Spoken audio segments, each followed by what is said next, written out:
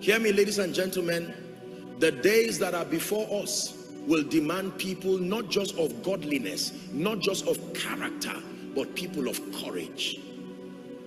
What happens to you when you are threatened, when your life is threatened on account of the gospel? What happens to you when you are threatened to say you must give bribe in the office, otherwise they are going to fire you?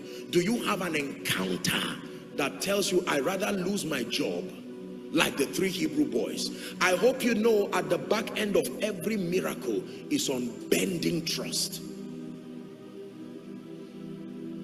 Number two,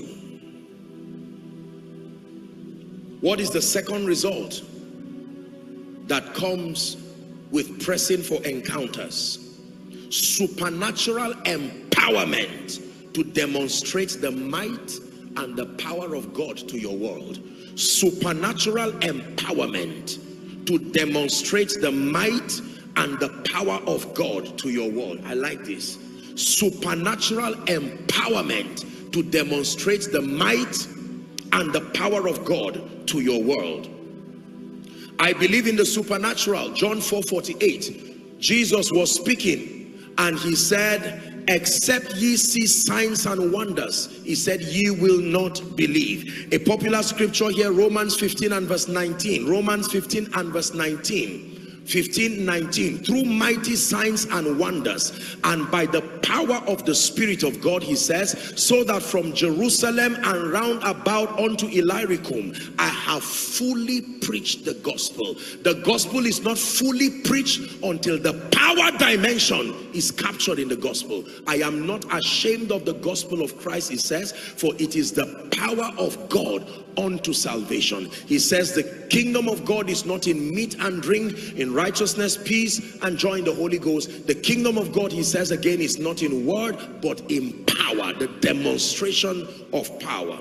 Encounters bring to the life of the believer supernatural empowerment to demonstrate the might and the power of God to our world in Acts chapter 1 and verse 8, having encountered Jesus for a period of three and a half years, he left them with a promise. He says, ye shall receive power after that the Holy Ghost is come upon you, and you shall be witnesses unto me both in Jerusalem, Judea, Samaria, to the uttermost part of the earth. Listen to me, ladies and gentlemen, we need power. Settle it once and for all.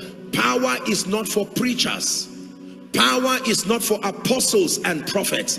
Power is for believers. He said, tarry ye in Jerusalem until ye be endued with power. I have taught you here, it takes power to excel in business. It takes power to be wealthy and remain wealthy for the kingdom. He says there is something called the power to prosper.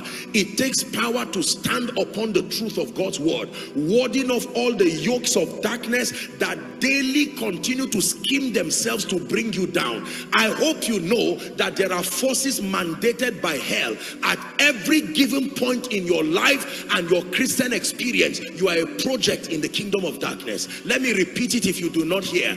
Let me tell you the truth. The Bible says the whole world lieth in wickedness. For as long as you are alive and you are found with your life to serve the purposes of the kingdom, there are demons and spirits assigned to you. Their assignment is to bring you down and to make sure that the counsel of the Lord does not stand in your life, in your ministry. You will be joking to believe that there are no spirits assigned against Koinonia or against Joshua Selman. But thanks be to God, which causes us always to triumph. Mama, you need power so that the devil does not make a shipwreck out of your children. Man of God, you need power. Without power, listen to me, things will go down in your life and you will be surprised. Businessman, you need power. You can buy and sell and make financial decisions. But hear me, there are spirits, the king of Tyre will manipulate the economy to make you lose so that you cannot sponsor the church.